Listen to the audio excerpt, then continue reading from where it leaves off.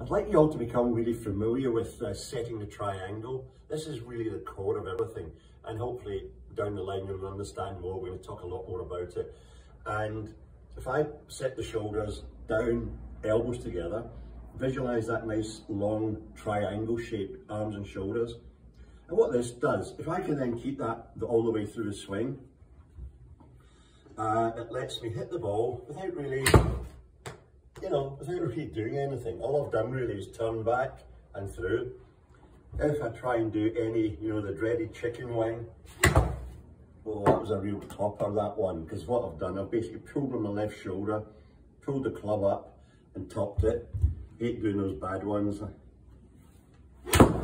Again, really nice strike. So remember, set the triangle, shoulders down, elbows together, and starting off, just with your palms out, like so. Really get that feeling of compactness.